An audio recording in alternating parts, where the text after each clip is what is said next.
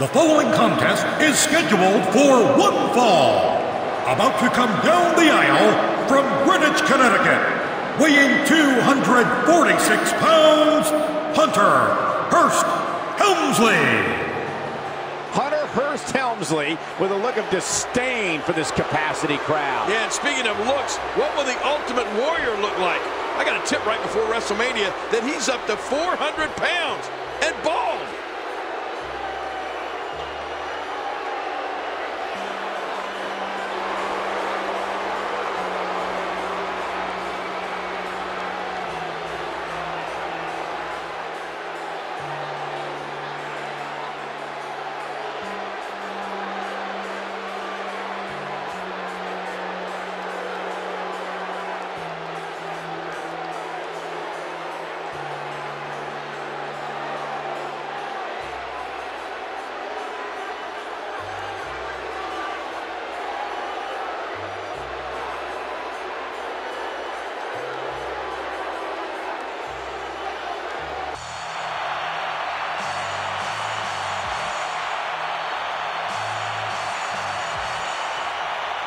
Ladies and gentlemen, his opponent makes his return to WWE from parts unknown, weighing 260 pounds, the Ultimate Warrior.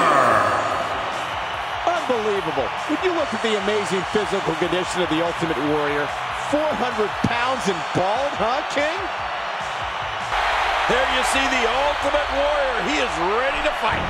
Yeah, he's going to have his work cut out for him, as you can see there. Hunter Hearst Helmsley from behind. Hunter hammered away on Warrior. Wait a minute, this match is not even started. What's what's Helmsley doing? Well, I think it's great strategy, King.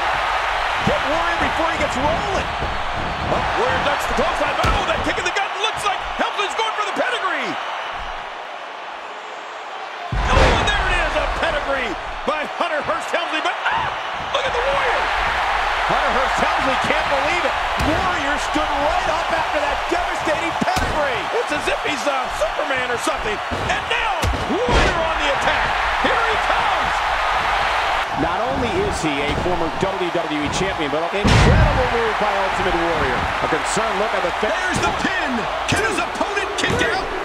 Absolutely amazing. We knew he felt he had to win this one tonight. I mean, there's absolutely no way to underscore how big this victory is. Perhaps the biggest in his life.